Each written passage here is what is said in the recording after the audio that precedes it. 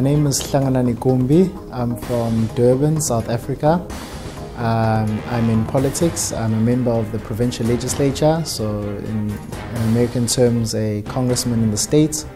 Uh, I particularly focus on human settlements and housing. I'm also as the spokesperson for the party to which I belong, which is the official opposition, which is a liberal party with uh, which cares a lot on many social issues. So it's, it's, it's, it's a mixed bag. But yeah, so that's what I do.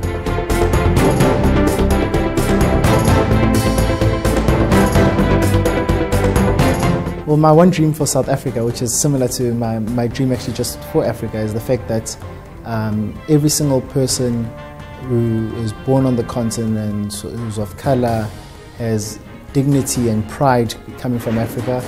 Um, it's a continent with a lot of history, uh, which was which people's people's pride and their dignity was taken away from them.